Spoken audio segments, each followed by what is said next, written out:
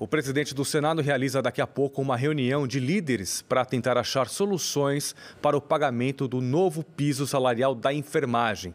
Quem tem os detalhes ao vivo agora, repórter Luiz Turati. Luiz. Essa reunião foi convocada pelo presidente do Senado, Rodrigo Pacheco, e está marcada para daqui a pouquinho, às 9 horas da manhã. Na semana passada, Pacheco já tinha dito através das redes sociais que convocaria esse encontro entre os líderes do Senado para debater esse assunto depois que o Supremo Tribunal Federal decidiu manter a suspensão do pagamento do novo piso aos profissionais da enfermagem.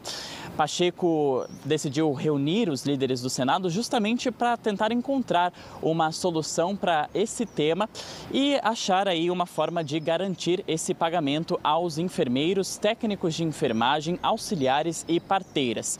Entre as medidas que poderiam ser adotadas para isso estaria a desoneração da folha de pagamento desses profissionais e até mesmo a liberação de jogos de azar.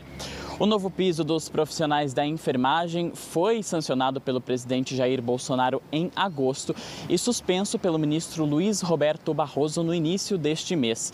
Barroso atendeu a um pedido da Confederação Nacional de Saúde, Hospitais e Estabelecimentos de Serviços, que alega que esse piso é insustentável porque aumentaria a folha de pagamento desses profissionais em até 60%. Na quinta-feira, os ministros do STF formaram maioria e decidiram acompanhar o voto do relator, que manteve suspenso esse, manteve suspenso esse pagamento por 7 a 4.